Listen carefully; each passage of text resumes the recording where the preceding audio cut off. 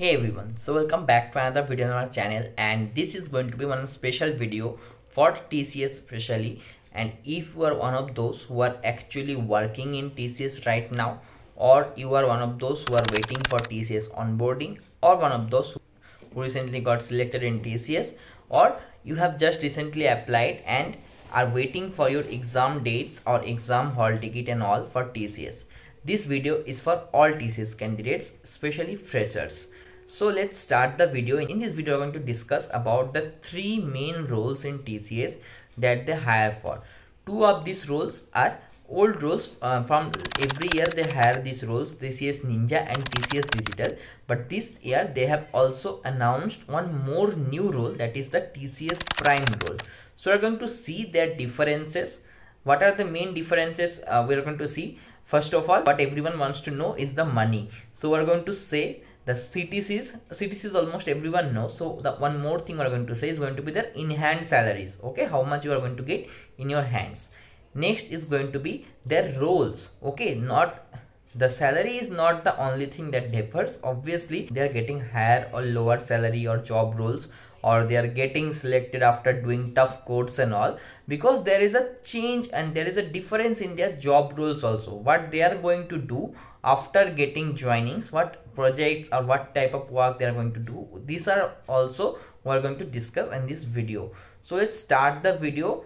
First of all we are going to see the basic things uh, the first of all you have to understand the roadmap of getting joinings in these three roles okay so first of all, there is a ITP that is the integrated test pattern. There will be aptitude and coding test both okay together. So based on your performance on the ITP, how much numbers you are getting in the aptitude round, how much you are getting in the advanced aptitude and coding round, how many codes, how many test cases you are passing. Based on that, you are going to get shortlisted for interview first. Okay so everyone will not get shortlisted for the same role interview. Those who are exceptional in both aptitude and coding, they are going to get selected for TCS prime interview.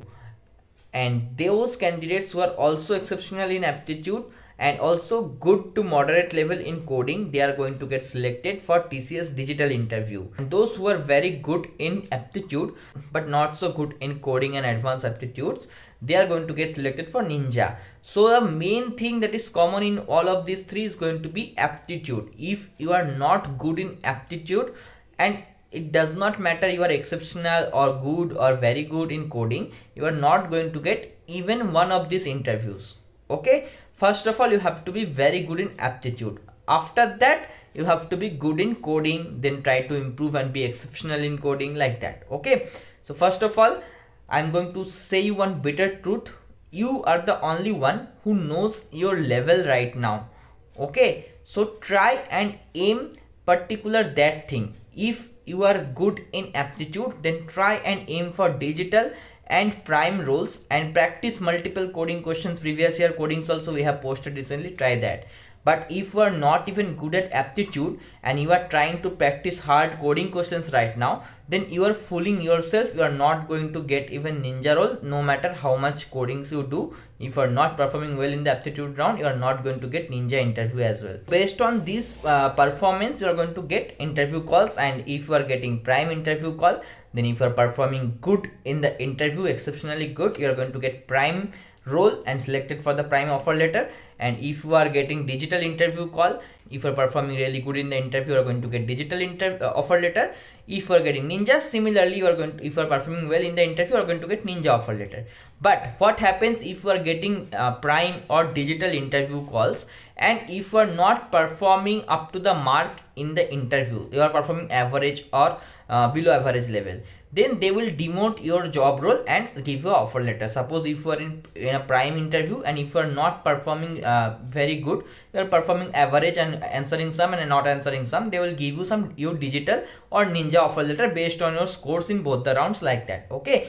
So that's it. But let's move on to the actual topic now but before moving on, if you are new to our channel, make sure to click on the subscribe button, join our telegram from the description box link and also make sure to click on the bell icon after subscribing because we post multiple hiring, onboarding and exam related updates every day regularly. Make sure not to miss those out. So i'm going to talk a lot about the roles and all. If uh, so that you do not miss out in any of the topics i will try to give out the screenshots attached with the video so that you can easily understand and see what i'm saying. So first of all according to job role and salary if you are comparing then best role is the prime role second is the digital role final and the third is going to be the ninja role. Okay according to ctc job role salary this type of things. But if you're measuring according to how many students are going to get selected how what is the uh, chance of getting selected what is the chance of getting offer letter then ninja is the uh, best role because many people are going to get selected for ninja. Very few are going to get selected for digital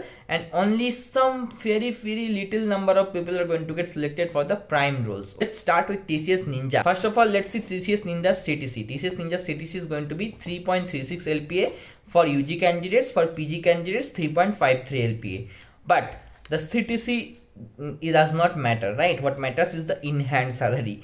In hand salary of you is going to be if you're selected in india is going to be approximately 22 to 23000 rupees for ug candidates. For pg candidates is going to be somewhat uh, higher the next is going to be what is the roles and what are the type of jobs what are the type of work you are going to do after uh, getting onboarded as tcs ninja so you are going to manage and support application development and management roles.